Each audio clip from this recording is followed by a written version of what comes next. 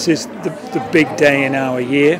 Uh, just like it was last week, of course, with the A-level results, but this with GCSE, we've got many students on tenterhooks waiting to see how they've done. And of course, this year is more nervous than probably many years we've stood here uh, because of the changes that have taken place to GCSEs. They're harder, there's certainly more challenging examinations as well, greater content.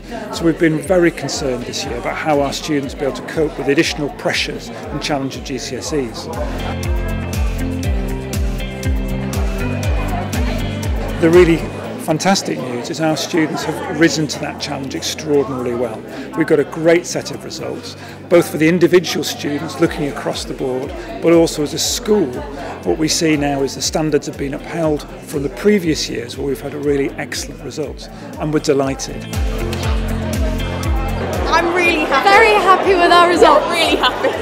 I got 9 in drama, 8 in music, 7 in RS, 8 in history, 9 in maths, 8 in biology, 9 in chemistry, 9 in physics, 7 in Englishes and A star in Italian. And I got all 9 in all of my subjects. I've done really well. I'm really pleased with what I got. I felt like I put in quite a lot of hard work, so I'm really pleased with the end results. And I felt like the teachers were a lot of help with uh, helping me achieve what I did get. So for like, for example, French, I felt like I was struggling a lot, but with the help that the teachers gave me, I did really well and I ended up getting an eight, being really close to a nine. So I'm really personally pleased with that. Uh, so yeah. Uh, yeah, really pleased with it. Uh, you know, makes all the hard work worth it. So you know, really happy with it all. So couldn't be happier really. Uh, I did a lot better than I thought I was going to do. Uh, so yeah, I'm really, I'm really, really happy.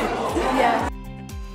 Yeah, I'm really happy with what I got. I definitely did better than I expected to do. Yeah, same here. It wasn't that I didn't think I was going to get it, it was just I really I wanted it so bad. It was the only result where I was like, if I don't get a 9, I'm going to be so disappointed. So I worked so hard for that and I'm just so proud of myself for getting it. I'm really happy I got an 8 in history and I thought I didn't pass it, so I'm happy. I think definitely like the teachers at our school are like very supportive and definitely helped us get um, put a lot of effort into the school um, and the, the lessons that we did and did a lot of revision sessions with us which really really helped. I think um, they sort of let us focus a lot about the areas we need to improve on so we weren't always doing the same kind of thing so I feel like that really helps.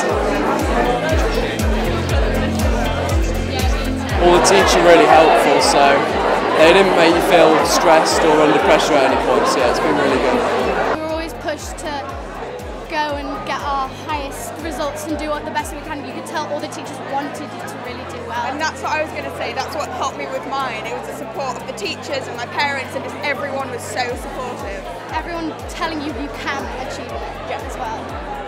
Uh, I'm going to the sixth form here, where I'm doing English, psychology, and business. Um, staying on for uh, sixth form here. Um, so I will be doing German, French, English language and maths. So languages is something that I'm passionate about and I feel like the teachers here are really good. So I'm really pleased. About 83% of our students, we think, will go on to the sixth form. And that's a great option for them. We have an extraordinary sixth form here last week's results show that. We had results well, well above national averages. You know, over 60% of our students got score grades at B and above. We've got students going on to leading universities, both here and abroad and we're delighted with how our students do in the sixth form. So we expect the majority of our students from year 11 who've made that grade to go onto the sixth form and be successful there. And today's an exciting day because it's, yes, it's GCSEs, but that's just the start of a new beginning. It's a really exciting time seeing them making that transition to sixth form, starting new courses and starting to flourish in that new, more adult environment of the sixth form.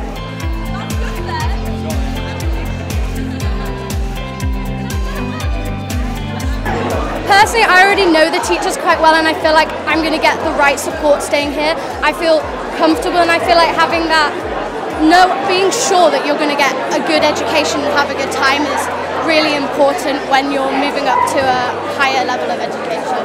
Um, pretty much the same thing, and as well, uh, Harrogate Grammar is a language specialist school, and I really want to do well in my languages. So knowing the teachers and that as well is why I've chosen to come here.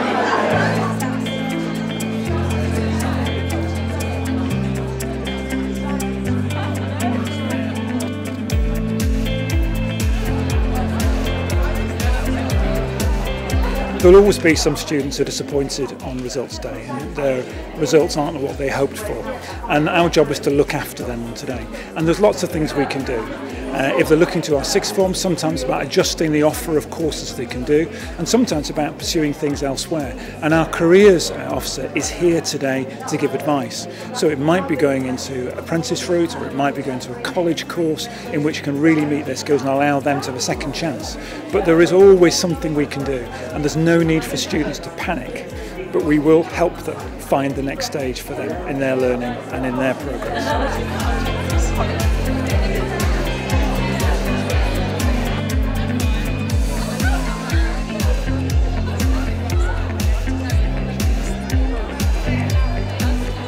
Absolutely delighted. Uh, absolutely delighted as an institution because we look at it and think, yes, I think we've done our job well but also it's so delighted for individual students. When you look across there, some of the students who've had a difficult time over the last few years and have really excelled, others who've just flown through, and you look at the hard work that they've put in and the outcomes. You know, the grade 9 grade was supposed to be pretty much unattainable. In history, just speaking to the head of history there, 18% of students in history got the grade 9, the highest grade of L, which is a beyond an A star. Across the board in English and Maths, 30%, nearly a third of the students got grades between a 7 and a 9. That's between an A and a beyond A star. 30% of the cohort. That's phenomenal. And it shows that we, we, we encourage all children to believe. We believe in excellence for all, and we've seen great progress from those really students who struggled but have managed to achieve, and we've seen fantastic progress for those who've really excelled in their academic work. And that's what we want to see all children achieving success at HGS.